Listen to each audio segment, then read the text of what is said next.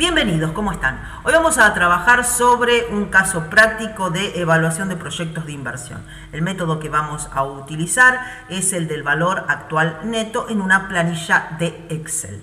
Leamos el ejercicio.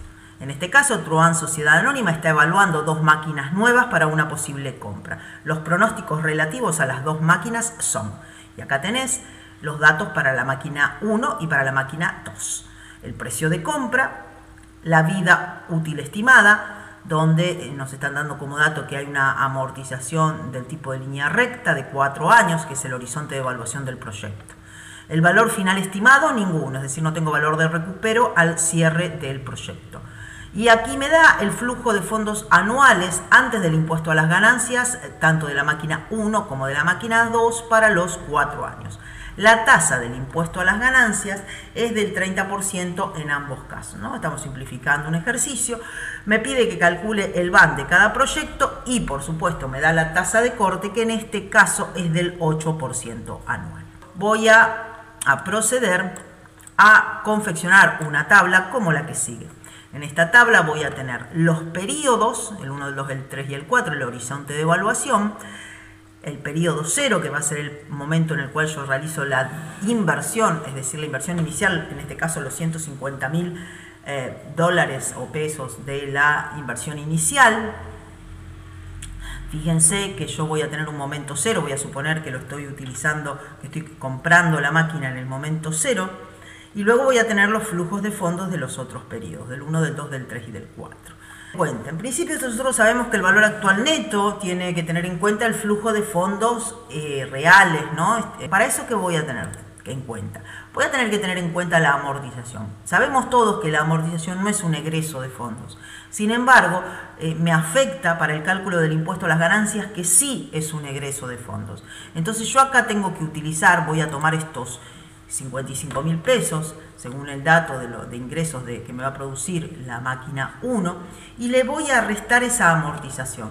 ¿De dónde saco la amortización? El valor de compra lo voy a amortizar en, totalmente en 4, y eso me va a dar los 37.500 de amortización por año. Cada caso puntual de impuesto a las ganancias, cada elemento puntual, ustedes van a tener que evaluarlo con la parte impositiva con el contador.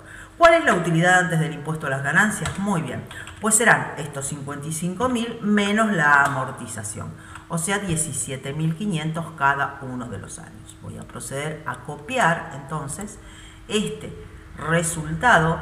A cada uno de estos, estos 17.500 pesos le voy a restar el impuesto a las ganancias. Los 5.000 en este caso serían el 17, eh, sería sobre 17.500, tengo que calcular el 30%. Me dan los 5.250.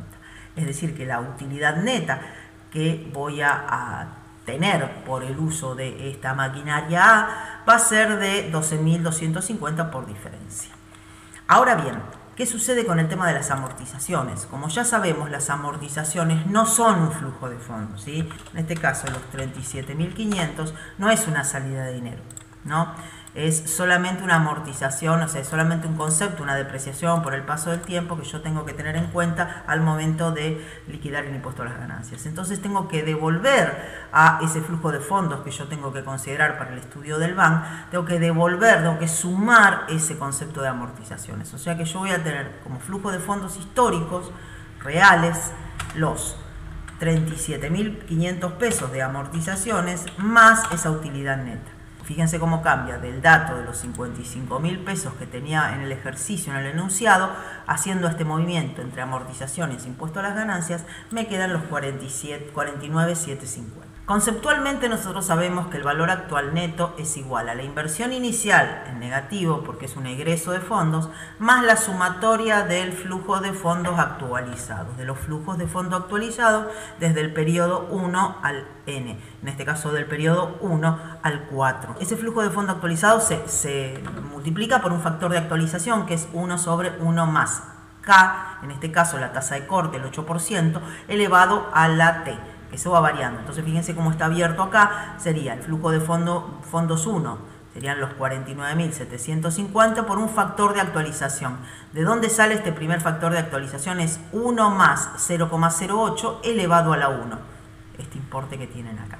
Después voy a tener en el momento 2, lo voy a elevar a la 2, en el momento 3 lo voy a elevar a la 3 y en el momento 4 lo voy a elevar a la 4 respetando la fórmula del, del valor actual neto.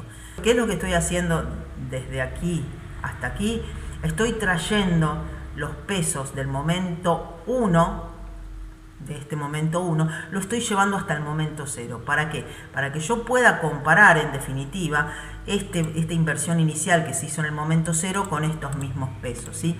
O sea, estoy trayendo cada uno de estos pesos al momento 0. ¿Para qué? Para poder hacer la sumatoria, porque si no estaría, si yo no, no lo traigo al momento 0, estaría sumando manzanas con naranjas aquí tengo el flujo de fondos actualizado del periodo 1, del 2, del 3 y del 4 y le voy a sumar los, le voy a restar en realidad, o sea, le voy a sumar en valor negativo porque es un egreso de fondos, le voy a sumar este valor. Entonces la sumatoria de todos estos valores, de, de toda esta fila, de la fila 14, me va a dar un valor actual neto de 14.778 que va a ser positivo la fórmula que puedo utilizar de matemática financiera, me voy a venir acá, fíjense que dice insertar función, y me vengo a las funciones financieras. Yo tengo en, este, en este, esta ventanita que se abre, se abre las funciones financieras, yo podría escribirla ahí, ya la conozco, pero acá tengo todas las, las funciones financieras. A mí me va a interesar en este momento esta, la del valor neto actual. Entonces yo voy a proceder de la siguiente manera. Voy a aceptar, me pide la tasa tomo qué tasa, la tasa de corte. Luego que tengo, tengo una serie de valores, en este caso son todos valores iguales, entonces voy a hacer, voy a hacer los argumentos de la función desde aquí hasta aquí, y eso me va a dar, le doy enter, y eso me da el valor neto actualizado de los valores positivos, es decir, que los valores positivos me están dando 164.778 pesos. Eso me lo hace directamente la función de Excel. Si yo tomo, le pongo la inversión inicial, que es necesario para completar la fórmula, yo voy a sacar por diferencia el valor neto actual o valor actual neto, el VAN, que me dan los 14.778, fíjense que es la misma, el mismo importe. Por También voy a sacar la tasa interna de retorno, voy a, sacarla, voy a calcularla acá, la tasa interna de retorno, que es la otra forma de evaluación, que lo podemos hacer muy fácil. También me voy a ir a las funciones financieras y vamos a buscar la tasa interna de retorno. TIR. Acepto. Me pregunta qué valores. Pues, pues, pues, bien, voy a tomar los valores desde aquí hasta aquí. Y le damos Enter. Fíjense que acá me está dando la tasa interna de retorno. Yo, en principio, si yo no tuviera que compararlo con nada, yo compararía solamente la tasa interna de, tasa interna de retorno con la tasa de corte. Como me da mayor la tasa interna de retorno, la eh, maquinaria me conviene, la, la inversión me conviene. Bien, como tengo que compararlo con la máquina 2, ¿qué hago? Algo a un procedimiento análogo, ¿no? Donde yo voy a colocar los, los valores, los ingresos, ¿sí? los ingresos, le voy a restar la amortización con un método análogo y obtengo la utilidad antes del impuesto a las ganancias. Después tengo, eh, hago por el mismo procedimiento, calculo el impuesto a las ganancias, obtengo la utilidad neta, le sumo la amortización ya que no es un egreso de fondos y tengo acá el flujo de fondos esperados históricos, a valores históricos. El mismo factor de actualización que utilicé antes con la misma tasa de corte, obviamente estoy evaluando dos inversiones distintas, entonces tengo que utilizar la misma tasa de corte. Puedo, puedo calcular el BAN de la misma manera, ya sea a través de una, acá yo tengo, fíjense que calculé ya el valor actual neto, acá lo tienen de esta fórmula a través del BAN como les mostré de la otra manera, tengo la inversión inicial, de los 210 mil pesos y después tengo la sumatoria de esos dos valores, me da que el valor actual neto es de 37.535. De forma análoga puedo calcular la TIR, como habíamos dicho, donde tomo los valores que corresponden entre este y este. Y le doy aceptar, magia. Recuerdo una, recuerdo una época donde interpolaba para conseguir la tasa interna de retorno utilizando unas tablas de logaritmo, ya en la antigüedad. Esto es magia, se hace rápidamente. Y aquí obtengo la tasa interna de retorno y el BAN.